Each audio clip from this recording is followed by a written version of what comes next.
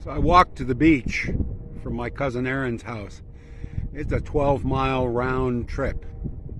It's beautiful. You walk along a canal all the way to the beach.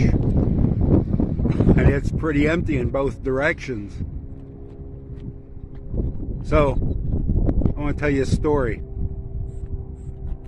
So my daughter Mandy started uh, preschool at four, and we we had been in America about a year at that point. But her mom was still speaking Thai to the kids. So she starts uh, preschool. And the first day, she goes to the teacher and she says, Go to ka, nam ka. I have to go to the bathroom. Which Mehmet taught the kids to say in Thai because in Iowa, speaking in Thai is private. Nobody's going to be around who understands.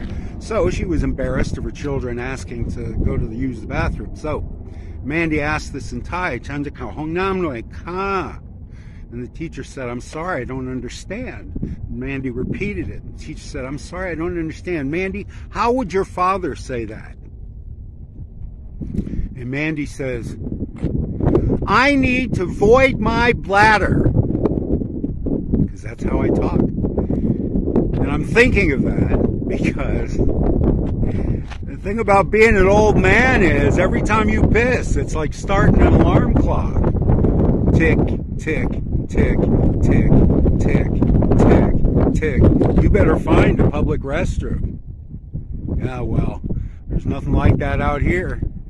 I didn't think of that when I said, I'm going to walk to the beach. That sounds fun. All right, thanks for listening.